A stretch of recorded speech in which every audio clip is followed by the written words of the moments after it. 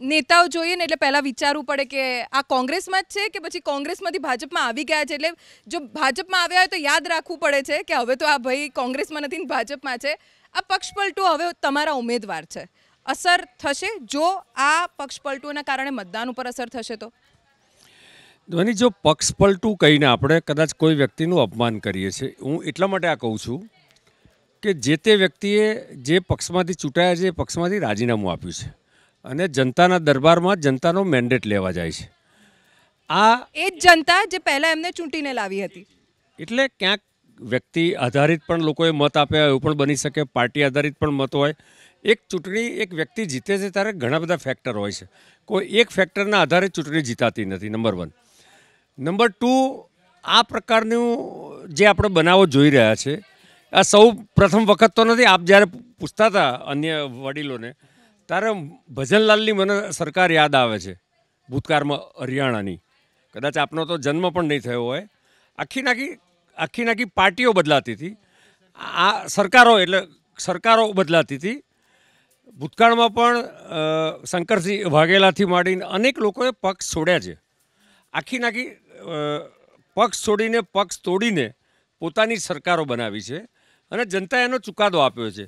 પરંતુ હમણાં હમણાં જે રીતે જ્યાં જ્યાં બાય ઇલેક્શન થયા છે ત્યાં by and large Bharatiya Janata પાર્ટીને ઉમેદવારને સમર્થન મળ્યું છે. કારણ કે એ એક પક્ષમાંથી નીકળી ગયા છે. ધારાસભ્ય તરીકે પોતે રાજીનામું આપ્યું છે અને ફરી એક વખત જનતાના મેન્ડેટ લેવા જાય છે. એટલે મને લાગે છે કે પક્ષ પલટું કહીને આપણે કોઈનું અપમાન કરવું પણ યોગ્ય નથી, કારણ કે એના ઘણા કારણો છે. અને અનેક વખત ચર્ચાઓ થઈ છે કે શા માટે કોંગ્રેસમાંથી છોડે છે કોઈ બીજા પક્ષમાંથી પણ લોકો છોડતા હશે. જરૂરી નથી કે કોંગ્રેસ છોડીને બધા જ ભાજપમાં આવે છે. બીજા અન્ય રાજ્યોમાં એક મિનિટ આપને અટકાવીશ. જી હેમાંગભાઈ. મારે એ કહેવું છે, અનિલભાઈને કે એમણે કીધું કે પક્ષ પલટું કહેવું અપમાન છે, તો હવે આજથી અમે આદરણીય પક્ષ પલટું કહીશું અથવા તો ઇંગ્લિશની અંદર રિસ્પેક્ટેડ પાર્ટી ચેન્જર એમ કરીને એમને આપણે માન આપીશું. પક્ષ બદલનારને પક્ષ પલટું ના કહેવાય તો એનાથી વિશેષ બીજું શું કહેવાય? હવે એ મને ખબર નથી પડતી. લોકશાહીની અંદર ખૂબ જ સારો શબ્દ છે અને આ શબ્દ તો બોલાવવો જ જોઈએ. આપણે આગળ હવે અનિલભાઈના કહેવાથી આદરણીય, માનનીય, સન્માનનીય શબ્દ આપણે વાપરીશું. જે વાત હતી જે હમણાં જે રાજકીય વિશ્લેષકોએ કીધી કે આ વખતે મન કરાતું નથી. તો મન નથી કરાતું, આવું જે છે ને, એ બે હજાર ચારમાં ઇન્ડિયા સાઇનિંગ હતું.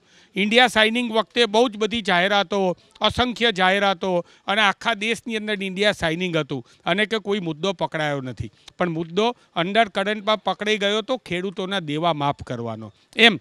આ વખતે કોંગ્રેસે જે ન્યાય યોજનાની અંદર ગરીબ મહિલાને એક લાખ રૂપિયા વર્ષે આપવાની વાત હોય યુવાનોને એક લાખ રૂપિયાનો સ્ટાઇપેન્ડ આ બધું તમે અત્યાર સુધી પ્રચારમાં બોલ્યા જ છો. એ જ મુદ્દો મુદ્દાની વાત છે. એ જ મુદ્દા અત્યારે પકડાયા છે. વાત આપણે મધ્ય ગુજરાતની કરી. તમે વાત કરી વાઘોડિયાની વાત કરી. ત્યાં તમે, એટલે જેણે કીધું કે ભાઈ બીજા ઉમેદવાર મજબૂત નથી, આ દરેક જગ્યાએ જે મુખ્ય ફેક્ટર છે એ ક્ષત્રિય ફેક્ટર જે છે, ક્ષત્રિય આંદોલન ફેક્ટર એ ભૂલવું ના જોઈએ.